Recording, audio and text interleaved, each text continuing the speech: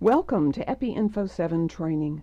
In this video, you'll get an adjusted odds ratio by using logistic regression in the visual dashboard. Logistic regression is appropriate when you have a binary outcome variable and is especially useful when you need to adjust your odds ratios and other statistics for possible confounding factors.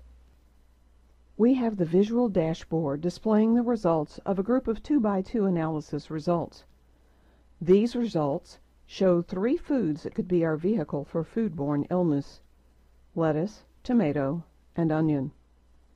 So we'll look at all these together in a logistic regression model to see if any of them are significantly associated with illness. First, we'll minimize the 2 by 2 gadget. Then we'll right-click on the dashboard again. We'll navigate to Add Analysis Gadget, Advanced Statistics, and then logistic regression. My outcome is ill, and I will choose those three suspect foods, lettuce, onion, and tomato. I'll click Run and minimize the dialog box.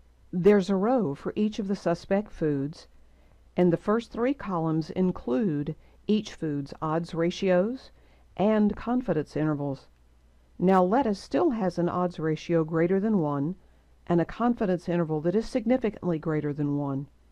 Tomato and onion don't have odds ratios significantly different than 1. We now think lettuce is our likely vehicle for illness.